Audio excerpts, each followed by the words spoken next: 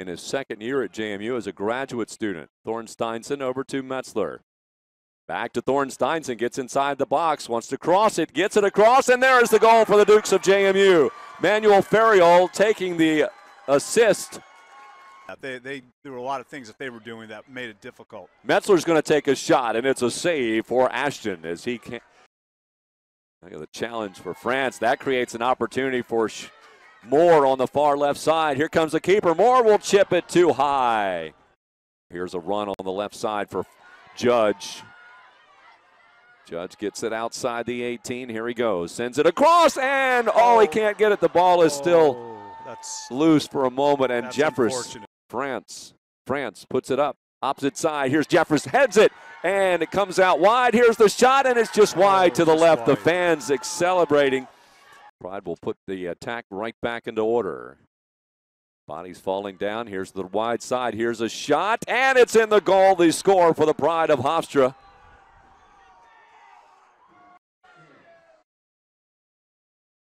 Strong in.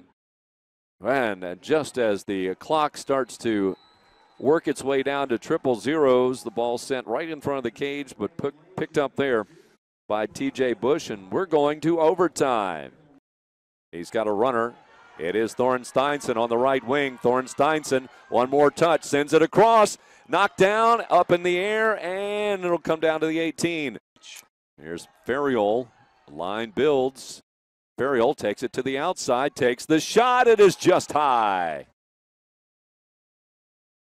Ferriol takes the long shot and just wide to the left. And he scores it. This is Lindquist. And the save.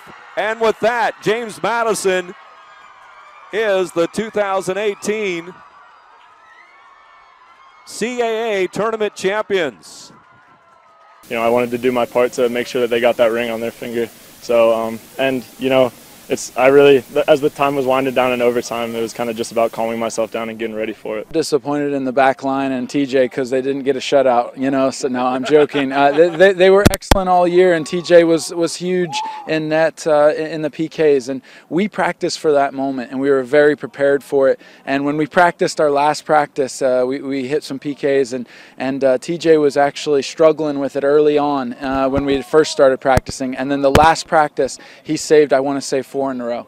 Uh, and then we knew, we just knew that uh, we were prepared for the moment, and the guys stepped up to the challenge. Stuck to a plan. You know, we had a plan from day one, um, and, we had some ups and downs like every team across the country. But you know, we always just stepped into every single game and said, "How can we play our style of soccer?" And uh, you know, we had glimpses of it today. It wasn't pretty, um, but we find ways to get uh, results, and that's what good teams do.